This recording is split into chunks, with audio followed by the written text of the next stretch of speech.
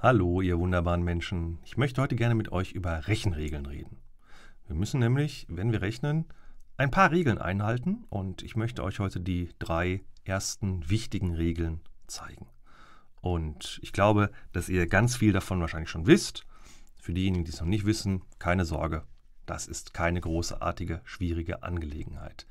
Wir fangen einfach mal mit einer ganz einfachen Regel an. Und zwar gucken wir uns diese Aufgabe an. Wenn ihr diese Aufgabe seht, was würdet ihr machen? Naja, wahrscheinlich würdet ihr einfach anfangen zu rechnen. Und genau das machen wir auch. Wir fangen einfach mit der 5 plus 7 oben an.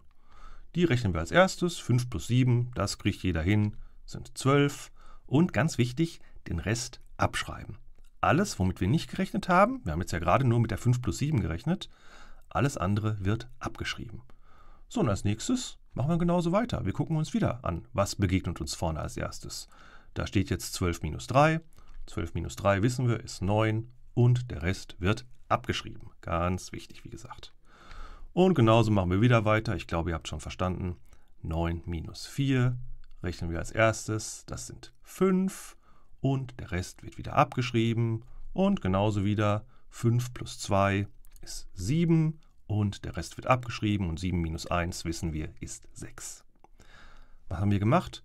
Wir haben einfach immer vorne angefangen zu rechnen und haben uns Stück für Stück für Stück für Stück runter durchgearbeitet.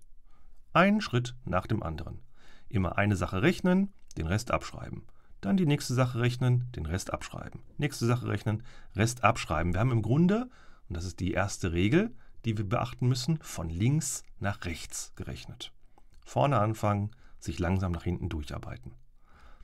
Jetzt wundert euch nicht, dass da dritte Regel steht, von links nach rechts, denn es werden noch zwei weitere Regeln kommen, Regel 2 und Regel 1, die wichtiger sind, die stärker sind. Aber das ist erstmal so die grundlegende Regel. Wenn wir die haben, dann ist alles gut.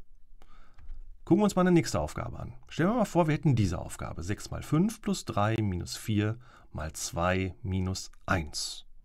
Das haben wir ja gerade gelernt. Von links nach rechts rechnen. Dann machen wir das doch einfach mal. Dann wäre 6 mal 5, 30, Rest abschreiben. 30 plus 3, 33, Rest abschreiben. 33 minus 4, Rest abschreiben. 29 mal 2, 58, Rest abschreiben. Und 58 minus 1 wäre 57 und das wäre das Ergebnis. Aber nein, das ist verboten. Warum ist das verboten, werdet ihr euch jetzt fragen? Naja, überlegt euch mal ganz kurz, was ist eine Malaufgabe? Was ist eine Multiplikation nochmal? Eine Multiplikation ist eigentlich nichts anderes als eine verkleidete Addition. Und deswegen müssen wir in so einer Aufgabe diese Verkleidung wieder wegnehmen. Wir müssen also überlegen, was steht da eigentlich, wenn da 6 mal 5 steht. 6 mal 5 heißt eigentlich nichts anderes als, dass die 5 sechsmal mit sich selbst addiert wird. 5 plus 5 plus 5 plus 5 plus 5 plus 5. Und in der Aufgabe steht auch noch ein 4 mal 2. Und dieses 4 mal 2 muss auch wieder die Verkleidung loskriegen. Und dann steht da 2, mal, äh, 2 plus 2 plus 2 plus 2. Und erst dann, wenn wir die Aufgabe so stehen haben, wird sie richtig gelöst. Ansonsten kommt leider ein falsches Ergebnis raus. Also, wann immer ihr einen Malpunkt seht oder auch eine Geteiltaufgabe, dann muss das zuerst gerechnet werden. Das heißt, aus den 6 mal 5 wird eine 30 und aus der 4 mal 2 wird eine 8. Und dann können wir wieder die Regel anwenden, von links nach rechts rechnen. Jetzt haben wir ja keine Mal- oder Geteiltaufgaben mehr da und kriegen am Ende dieses Ergebnis raus. Es ist also ganz wichtig, die Punktrechnungen, also mal und geteilt, im Vergleich zu den Strichrechnungen, also Plus und Minus, mal und geteilt hat ja Punkte und Plus und Minus sind Striche, die Punktrechnungen müssen vor den Strichrechnungen bearbeitet werden. Also sobald in einer Aufgabe eine Punktrechnung ist, hat die Vorfahrt. Und das ist eine Regel, die ist wichtiger als die Punkt, als die von links nach rechts Rechnung. Wir können uns das so ein bisschen vorstellen, dass wir so eine Art Klammer um die Malaufgaben drumherum machen. Ist klar, okay, die hier gehören zusammen. Und damit sind wir schon bei der nächsten Rechenregel. Bei der geht es nämlich um Klammern. Stellen wir uns mal zum Beispiel diese Aufgabe vor. Klammern, habe ich gerade gesagt, sollen andeuten, diese Aufgaben gehören fest zusammen. Die dürfen nicht auseinandergerissen werden. Und das ist eigentlich eine ganz einfache Sache. Heißt nämlich, wir müssen diese Klammern zuerst ausrechnen. Wir rechnen also zuerst die Klammer, wo 2 mal 3 drin steht, das ist 6. Dann rechnen wir die Klammer, können wir gleichzeitig machen, in der 5 minus 4 steht, das ist 1. Und ganz wichtig, der Rest wird abgeschrieben. Mit dem haben wir ja nicht gerechnet. Mit der 3 und mit der minus 2 hinten haben wir nichts gemacht, also schreiben wir die wieder ab. Jetzt sind alle Klammern weg, es sind alle Punkte weg, also können wir jetzt wieder von vorne, von links nach rechts rechnen. 3 plus 6 ist 9, Rest abschreiben. 9 plus 1 ist 10, Rest abschreiben. 10 minus 2 ist 8 und fertig. Und das ist tatsächlich jetzt erstmal die oberste Regel. Klammern gehen vor.